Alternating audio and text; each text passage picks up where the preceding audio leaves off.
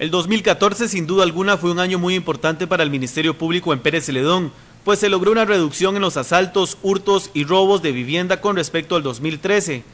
Los asaltos se mostraron un 10.1% menos, los hurtos un 5.5% menos y los robos de vivienda un 22.9% menos que el año 2013 según datos de la Fuerza Pública.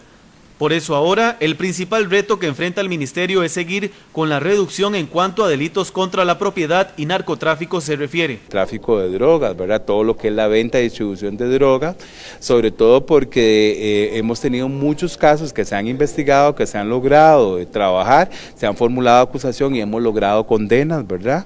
Eso es importante señalarlo porque los dos perfiles, ¿verdad? De delitos más importantes que más daño nos están generando y nos siguen generando eh, daño, nos hemos logrado desaparecer del todo, sigue siendo precisamente los delitos contra la propiedad y los delitos relacionados con el tráfico de drogas. Para obtener buenos resultados, el fiscal de la zona de Pérez Celedón asegura que ha sido indispensable el papel del juzgado de flagrancia. Con la instauración de flagrancia, porque hay que señalarlo así, en el año 2014 ingresaron 450 asuntos en flagrancia, de los, es decir, un promedio de 40 asuntos por mes.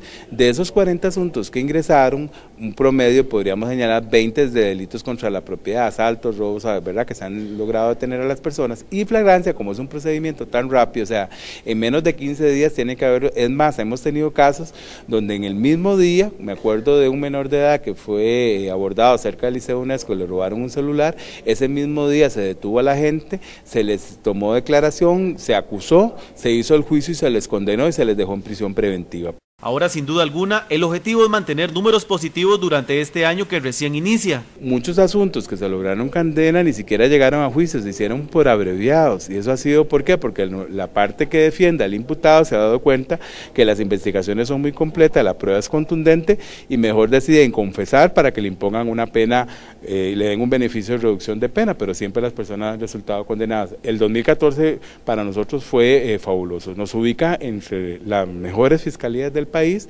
Como parte de sus labores, el Ministerio Público hizo una rendición de cuentas el pasado viernes en los tribunales de justicia de Pérez Celedón.